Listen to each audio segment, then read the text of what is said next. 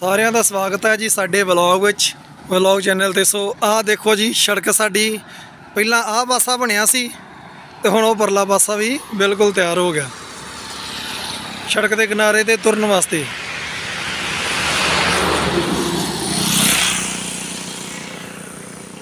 ਉਹ ਦੂਰ ਤੱਕ ਵੇਖੋ, ਅੱਗੇ ਬਣ ਰਹੀ ਹੈ ਸੜਕ।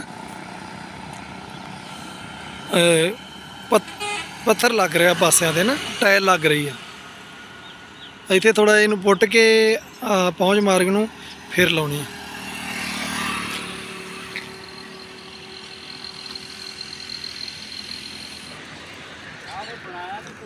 ਆ ਇਹ ਉਤੋਂ ਦੀ ਟਰੈਕਟਰ ਲੰਘ ਗਿਆ ਨਾ, ਕੱਚਾ ਹੁੰਦਾ ਨਾ। ਪਾਣੀ ਪੂਣੀ ਨਹੀਂ ਲਾਉਂਦੇ। ਆ ਦੇਖੋ ਜੀ, ਪਾਸਿਆਂ ਤੇ ਤੁਰਨ ਵਾਸਤੇ ਕਿੱਡੀ ਵਧੀਆ ਚੀਜ਼ ਬਣ ਗਈ। ਹੈ ਤਾਂ ਪਹਿਲਾਂ ਕਿੰਨਾ ਇੱਥੇ ਸੁੱਖਾ ਵਗੈਰਾ ਉੱਗਿਆ ਸੀ। ਤੇ ਹੁਣ ਬਿਲਕੁਲ ਵਧੀਆ ਬਣ ਗਿਆ। ਪਾਸੇ ਪਾਸੇ ਜਿਸ ਤਰ੍ਹਾਂ ਕਿ ਕੋਈ ਤੁਰ ਕੇ ਜਾਂਦਾ, ਇੱਥੋਂ ਤੱਕ ਕਿ ਸਾਈਕਲ ਵਾਲਾ ਵੀ ਇਸ ਉੱਤੇ ਸਾਈਕਲ ਚਲਾ ਸਕਦਾ। ਬੜਾ ਵਧੀਆ ਬਣ ਗਿਆ। ਯਾਦ ਬਣ ਰਿਹਾ ਅਜੇ। ਮਤਲਬ ਵੀ ਥੋੜੇ ਦਿਨ ਹੋਏ ਬਣੇ ਨੂੰ ਆ ਰੇਤਾ ਉੱਤੇ ਪਾਈ ਆ। ਜਦੋਂ ਇੱਕ ਅੱਧਾ ਮੀਂਹ ਪਊਗਾ ਤੇ ਸਾਫ਼ ਹੋ ਜੂਗੀ।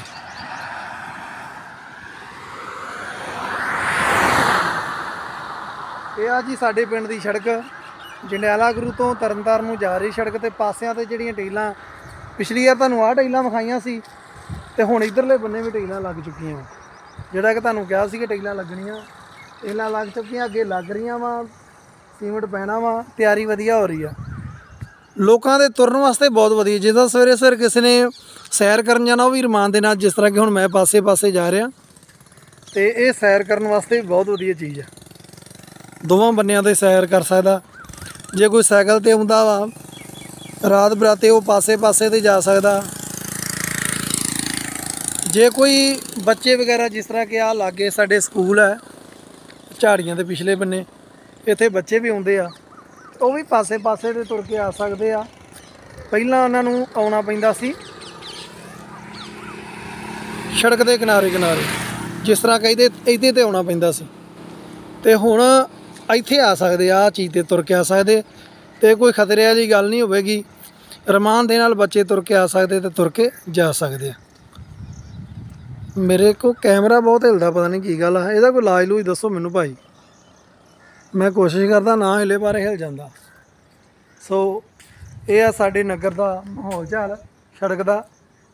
ਇਹ ਜਿਹੜੀ ਸੜਕ ਆ, ਇਹ ਜਿਹੜਾ ਬਿਜਲੀ ਮਹਿਕਮੇ ਦਾ ਮੰਤਰੀ ਆ, ਜੰਡਿਆਲੇ ਵਾਲਾ, ਉਹ ਇਹ ਸੜਕ ਦੇ ਕਿਨਾਰੇ ਕਿਨਾਰੇ ਟਾਈਲਾਂ ਲਵਾ ਲਿਆ, ਜਿਹੜੀਆਂ ਕਿ ਜੰਡਿਆਲਾ ਤੋਂ ਲੈ ਕੇ ਤਰਨਤਾਰਨ ਸਾਹਿਬ ਤੱਕ ਲੱਗਣੀਆਂ।